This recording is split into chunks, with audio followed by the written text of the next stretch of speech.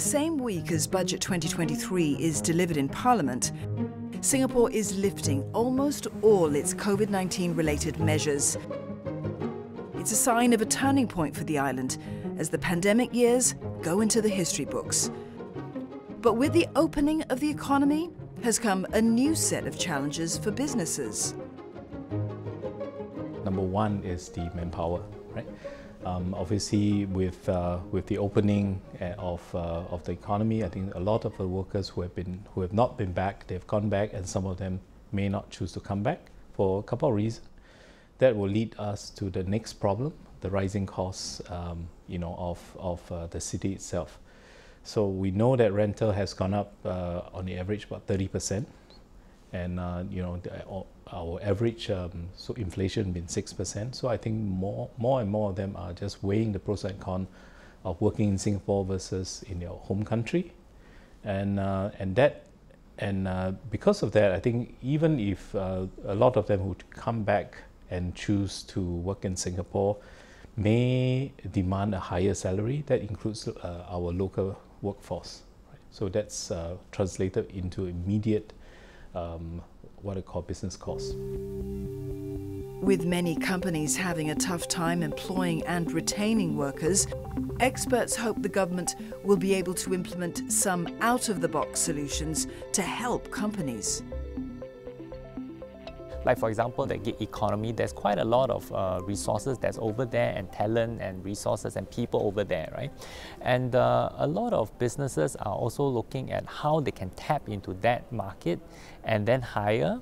And also if you look at the uh, over uh, the COVID and the pandemic, uh, some of the gig workers may find that um, uh, being a gig worker, there's uh, le less protection and uh, there may be a bit of challenge. So I think that this is an area that maybe we can look at uh, supporting, right? And whether a large gig uh, workforce may be something that's good overall for the economy, or we could actually support the businesses to help some of these gig workers transit into a, um, you know, a corporate world as a PME. One sector that has been the hardest hit by this manpower crunch is the hospitality and F&B sector. To find foreign labourers is very tough, let alone finding local Singaporean to fill this job.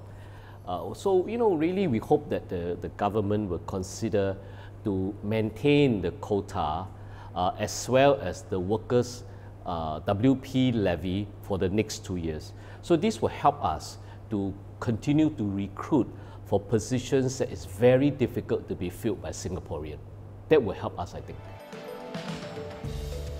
Amid this labour crunch, programs to upskill workforces have helped businesses to make better use of the manpower that they have. During COVID, we partnered with WSG to roll out job redesign and upskilling program. We started with combining concierge with security. Uh, we send some members of our concierge team for security training. So upon completion of the training, they are licensed security officer. So now they can function both as concierge as well as security officer. Similarly, we send our security officer for uh, guest service training we teach them and we coach them how to handle luggage, how to provide guest services. So by doing so, we are now able to combine these two roles. And once all is done, uh, we will not have just 10 concierge team members and 8 security. We now have 18 well-trained concierge and security team members that can do both functions. Key to growing the Singapore economy is creating a pipeline of talent, both locally and overseas. One such initiative is the Global Ready Talent Programme, or GRT, which offers young talent access to local and overseas internships and work opportunities in promising enterprises. Right now it's really for young graduates, but I think government can consider um, uh, people at a more senior level, even at the PMETS level, right? Also, um, that now that their kids have grown up, they are ready to go into a, um, different countries to help companies grow their business in that sense.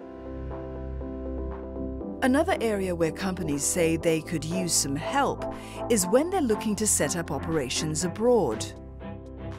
The ROI for such a investment is usually long term and the spike in terms of investment, this is some part whereby that's probably one of the reasons why companies are reluctant to go, right? Because the ROI is not immediate, right? So perhaps if uh, the budget can have some help in this area, whether it's a relocation grant or some kind of a of a of a, a, loans whereby company can tap on if they decide to shift some of the production overseas and explore overseas market.